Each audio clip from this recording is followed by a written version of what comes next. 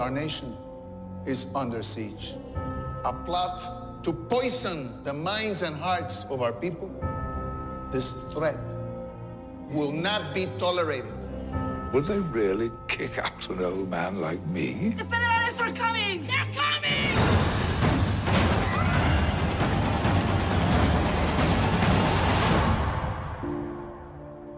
There will be no stopping the uprisings now.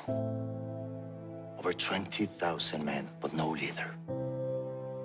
He's a great man, capable of doing great things. You want me to make an army out of a group of ragtag peasants?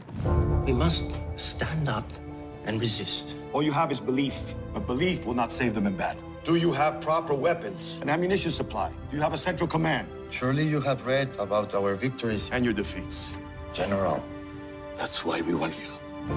In defiance of a regime, he joined a fight that was not his own. You cannot fight for something you don't believe in. I believe in freedom. Turned a rebellion into an army. We will fight with honor and dignity. And found inspiration. Why are you here?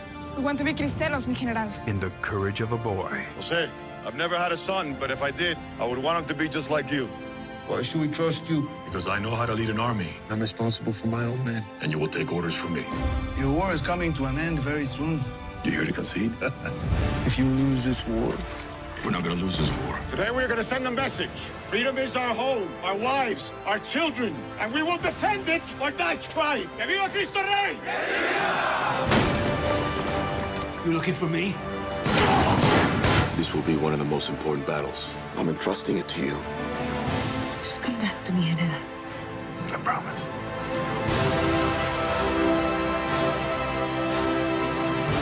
Stand up for what you believe. Pick up, Jose. You must remember that men will fire bullets, but God decides where they land.